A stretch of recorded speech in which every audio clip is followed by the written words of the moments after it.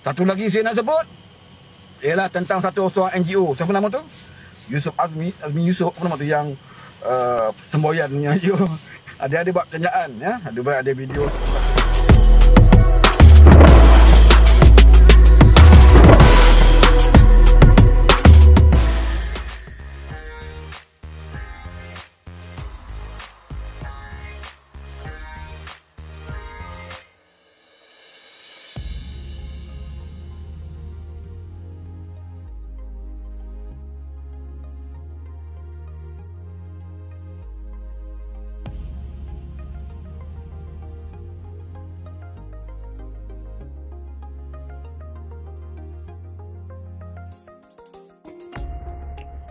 Satu lagi saya nak sebut ialah tentang satu seorang NGO. Siapa nama tu?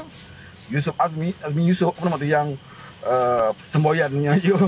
Ada ada buat kerjaan ya. Ada buat ada video TikTok saya, saya tengok. Uh, dia kata dia bukan nak pertikaikan mahkamah tetapi dia adalah macam ada rintihan tentang sepatutnya dipertimbangkan usia Najib uh, yang telah berumur dia kata ya bagi peluang kepada Najib apa semualah. Jadi saya saya dah jawab dah dengan Yusuf Azmi ya ini bukan masalah umur ya ini masalah jenayah. Salah laku yang dia lakukan yang telah dibuktikan dalam mahkamah.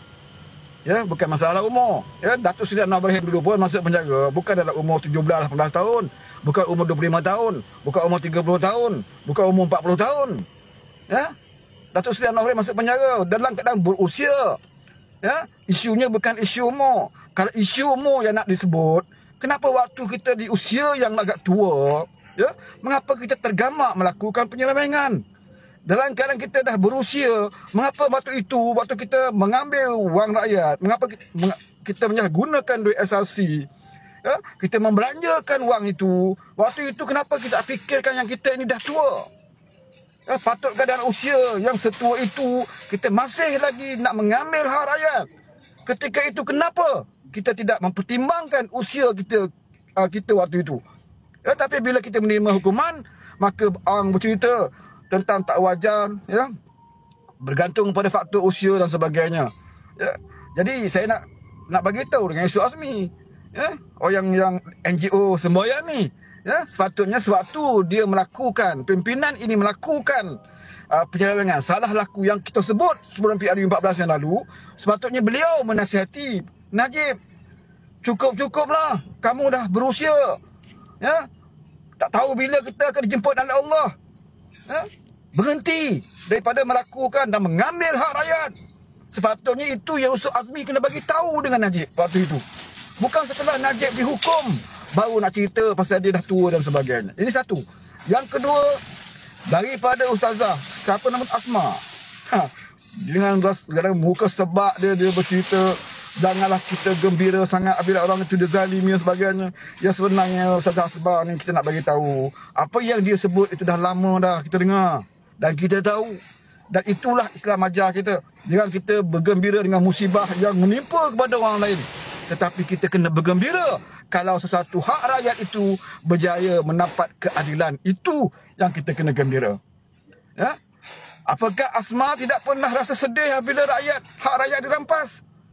Apakah sewaktu dengan kita bergembira dengan musibah yang menimpa kepada orang lain tetapi kita kena bergembira kalau sesuatu hak rakyat itu berjaya mendapat keadilan itu yang kita kena gembira ya apakah asma tidak pernah rasa sedih apabila rakyat hak rakyat dirampas apakah sewaktu rakyat susah dalam keadaan PKP rakyat tak ada kerja hilang pendapatan tak makan setiap hari kita dengar ada orang bunuh diri kerana tekanan hidup.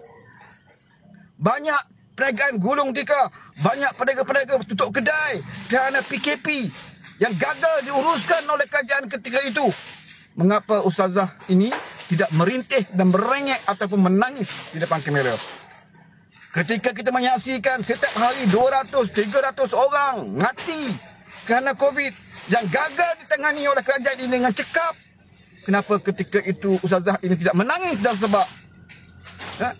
Setiap hari 200 300 orang meninggal kerana COVID.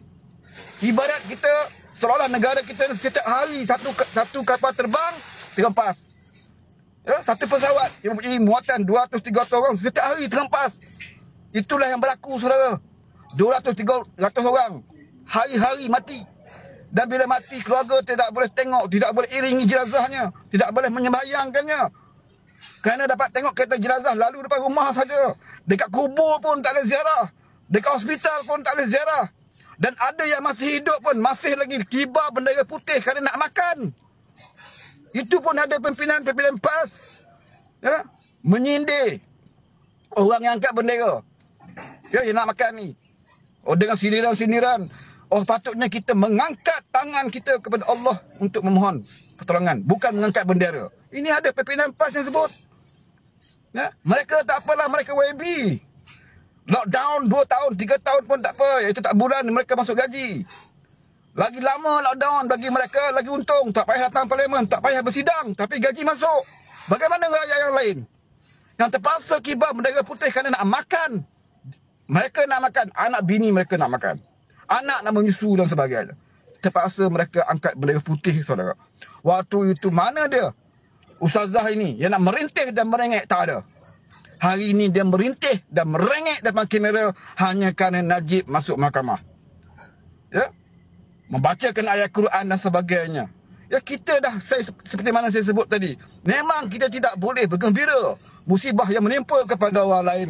Ya? Walaupun kita tahu suatu Datuk Seri Ibrahim masuk penjara, suatu Azizah mengendong anak dia melihat suaminya dalam penjara waktu itu sindiran dan mereka ditertawakan di dalam parlimen. Kita masih ingat peristiwa itu. Tapi ini bukan dendam, saudara.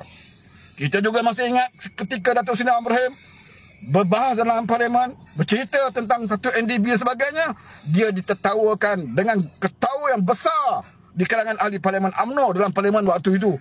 Seolah mereka tidak ada Tuhan yang akan menentukan. Ha? Ini saya nak beritahu dan dalam live sependek ini jadikan muhasabah kepada diri kita. Memang betul jangan kita bergembira dengan musibah pada orang lain kerana kita tahu akan apa yang berlaku pada diri kita. Tetapi paling tidak kita bersyukur dan kita bergembira kerana kes yang melibatkan hak rakyat itu berjaya mendapat keadilan. Dan kita yakin selagi ini yang akan kita pertahankan sistem kehakiman, banyak lagi kes akan terbongkar. Dan saya nak bagi tahu rakyat di luar sana, kalau kita nak hukum pemimpin-pemimpin di luar sana yang bersorak dan bertempik segonok tengok Najib masuk penjara.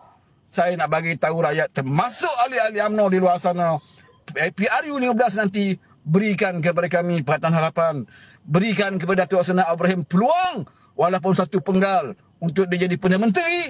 Percayalah saudara, kita akan buru satu persatu pemimpin-pemimpin yang bersorak hari ini kita akan tentukan mereka juga mendapat nasib yang sama seperti mana yang dialami oleh Datuk Seri Najib Tun Razak.